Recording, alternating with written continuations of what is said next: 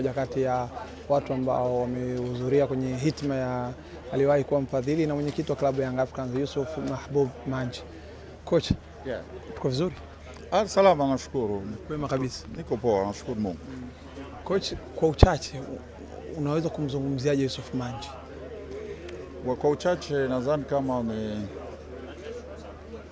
naliwahi ku, kuwa naye kukutana naye mara tatu Ah, wakati minafika Yanga eh, marehemu alikuwa uh, hayupo tena. Mwaka wa, wa mimi nafika ndio mwaka wenyewe alikuwa an, ametoka. Uh, meila wakati walinitangaza kocha wa Yanga uh, akapiga simu. Akamwomba eh, CEO wa kipindi ile nipatie namba ya kocha. Uh, mwenyewe anakuya ku- anasanya Yanga uh, wakampa namba yake akanipigia, nikasikia mtu anapiga simu, mwalimu. Ah, akasema ni eh, Yusuf Manji. Na mimi nilikuwa nishasikia ile jina, waliniambia mara nyingi, nikasema oh. Nikamsalimia na akaniambia unaweza kuja uh, siku gani? Nikamuuliza, akaniambia unaweza, nikauliza wapi? akanambia hapa hoteli moja iko hapa. ni akanipatia appointment pale, na kesho yake nikaenda tukakutana. Eh, nadhani kufuatana na swali yako ah, unajua nalisoma psikoloji psikolojia. Naweza nikasumulia na mtu dakika tano tu. Tano tu, hatuyaonanaka, sikujui, mara ya kwanza tukutane, haiwezi pita dakika tano, naisha kukutambua kwa ile tulisumulia ya dakika tano yote uliosema, na namna unisalimia na namna gani tuko na angaliana kuzungumza. Dakika tano tu. Na, ku, na, ku, na kujua kwa nani yote, na kwa ile dakika tano nikaona kama kuna intelligence, mtu akili, unasikia, nikaelewa moja kwa moja.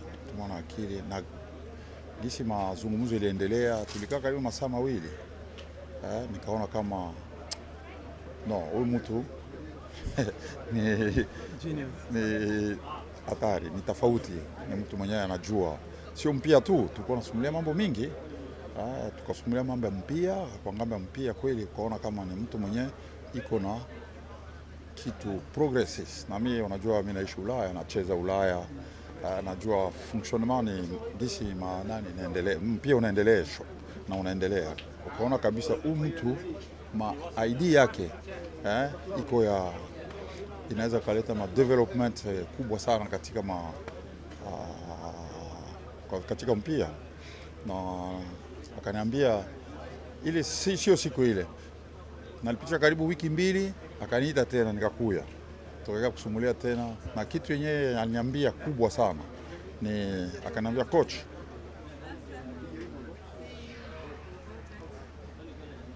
wakati unafanya kazi yoyote duniani, akaniambia ujue kama kwa mkifaransa tunasema la vie, maisha, la vie est un voyage ni kusema nini?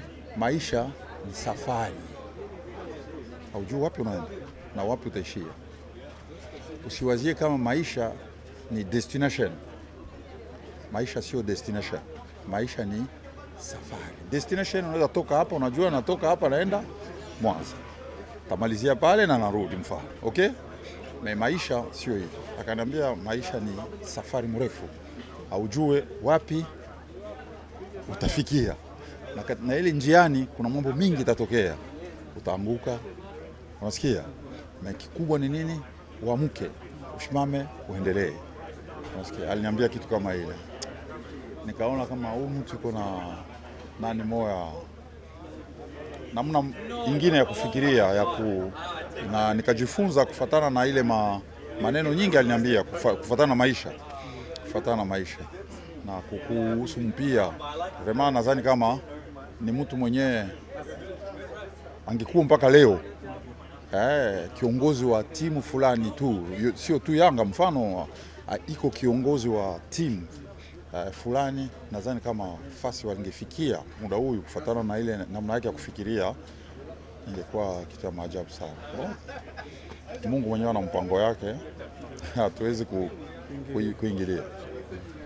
Kocha uh, Manji, moja ya matamanio yake ni kuifanya Young Africans kuwa klabu kubwa barani Afrika baada ya kuwa ligi ya ndani tayari ameshaiweza barabara, uh, lakini haikufanikiwa vile ambavyo alikuwa anataka. Si. Lakini wewe ulivyoingia, uli- ulidhani kitu gani kilisababisha Yanga ishindwe kufanya vizuri kimataifa? Wakati wangu E, Kwa sababu mlipishana kidogo. Ma- ma- ma- tupishana kidogo tu me, unajua eh, nani, maendeleo ya kitu sio kusema kama eh, mtu fulani ali, alikuwa akutaka kitu aliyofaa ali, eh, alikuwa anatafuta kuifanya kutenda, akutenda kitu alikuwa anatafuta no, ile kitu alikuwa nyishaanza. Unajua saa ingine ndio ile kitu inafikishia Yanga iko hapa, donc unaweza kusema kama ma, ma, manani yake iliacha kama Yanga afanye nini, aendelee aendelee aendelee, unasikia? Uh, donc iko kwangu mimi, kwa sababu ile reisiti ya Yanga ya sasa inafaa kwanza kuanzia kukumbuka kama kitu aliyofanya ndio inaacha vile vile Yanga leo anafikia hapa. Upinzani alianza kuleta eh, kucheza wachezaji wa nje, wachezaji wakubwa. Wa nini? Eh, ile kitu njo ilirudia tena, sema Yanga siku tena na wachezaji wakubwa. Wao waache tu tucheze na wachezaji wa kawaida. No, ikaendelea ikaendelea, kipindi mimi nafika eh, kweli ilikuwa tofauti na ile, unaona, ndio maana aliniambia nani, maisha ni safari. Eh, na katikati ya safari kutakuwa mambo mingi. Eh, unaweza ukaanguka me ukuwe na nguvu ya kuamka. Wakati anatoka kufuatana na ile aliniambia, maisha ni safari, unaweza ukaanguka, na Yanga ikakuwa kipindi kigumu. Okay? Na wakati inakuwa kipindi kigumu, unajua tu eh, mtu kama ule alisema hivi, na hata kama ilikuwa kipindi kigumu, Yanga ilikuwa vibaya, Yanga ilikuwa vibaya. Tulitafuta kubeba hata ubingwa tungebeba mwaka ule, na kufatana na magumu matatizo yenyewe ilikuwa donc, ukaangalia eh, reisit reisit ni ile matokeo mafanikio ya Yanga tokea aliondoka, gisi alianza kubadilisha mambo ya mpira ma- kutilia wachezaji mikataba, unaona? Eh, ile mabadiliko ndio inaacha leo Yanga inafika sasa kwa nani yenye iko iko fasi nzuri, na Yanga yatimiza ndoto yote. Yanga yabeba kombe yote ya Afrika.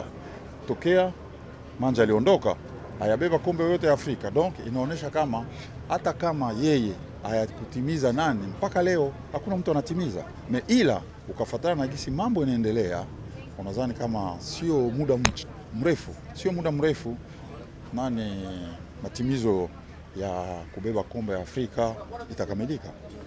Kocha chini utawala wenu mlimsajili Ibrahim Majibu kutokea Simba, lakini pia mkamsajili Gadiel Michael kutokea Azam. Safari hii imejirudia tena, Yanga wamemsajili Chama kutokea Simba, lakini pia wamemsajili uh, Principal Mlelo Dube kutokea Azam FC. Hii unaitafsiri una- vipi sajili hii na ukilinganisha na zile mlifanya nyinyi? Bon, mimi nadhani kama siwezi, siwezi jua sababu gani eh, ina, inatakiwa sijue kama ni sababu ya concurrence. Concurrence ni kusema kwa upinzani wa matimu ya matimu mbili, Simba Yanga, Mkude anatoka huku anakuja huku eh, bon sio sio mbaya, sio vibaya.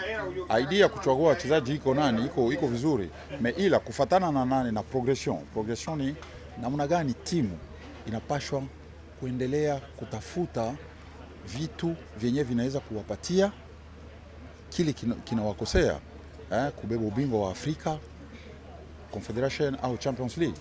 Okay, na gisi mi naona eh, kuna, kuna saa moja eh, tu, uh, kuna mausajili wenyewe unafanyika, sijue ni kwa kusema kama tuumize maroho ya watu, sababu huyu anatoka huku eh, walikuwa nampenda hata si tumchugue. Unasikia? Usajili ni nini? Usajili ni kitu kenye kilitukosea mwaka huyu, inafaa tufanye nini? Tuki Yanga kuna mchezaji eh, aliwakosea kama Chama eh? Sijue ma- saa ingine hii interview watu wanaweza kuisikilia vibaya okay? Me Chama ni mchezaji mzuri me ila Yanga hakuna mchezaji kama Chama eh? Okay, wanaye ya kwanza ile. Mkude alikuwa wapi? Simba. Alikuwa Simba. Anacheza mechi ngapi Yanga? First 11 Hapana, eh? So first eleven. Okay.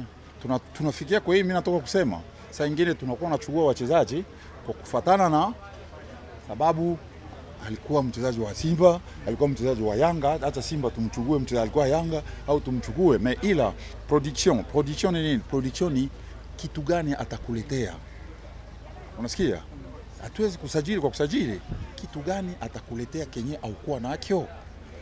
Timu kubwa ni hivi, unasikia? Bon, washabiki wanafurahi. Me, mie mawazo yangu ya usajili nadhani kama ni, ni tofauti na hii mimi kunaona, sababu wakati unachukua mchezaji Simba Yanga, inafaa ule mchezaji akuwe first 11 mwenye aukuwa naye, unasikia, ni mtu mwenye atakuletea kitu special yenye itakubebesha tena kombe, sababu ifasi kulikuwa mtu mwenyewe inafaa na nani. Hauwezi kuleta wachezaji kwa kuleta wakuwe benchi watia gharama kubwa, wachezaji wakuwa kaa, ka benchi, unasikia? Eh? Donc kwa hii eh, mfano ni wa Mkude tu. Mkude alitoka Simba anakia Yanga. First 11 no, haiko mie nasema hawezi. Me, ila mi sikuona wanamchezesha mara nyingi. First 11 unasikia, na kwa hii e, sio Mkude mchezaji mzuri mzuri me, ila kuna nafasi mnaleta mzuri na kuna mzuri tena karibu wawili tena wa zaidi, unasikia, njo inakuwa inakuwa hivi. Utaona ligi inamalizika, eh, tuachana na mchezaji fulani, hata saa ingine angali na mkataba meila acheze, unasikia, na njo kufuatana na swali yako bo, ile ni mawazo yangu. Shukrani coach.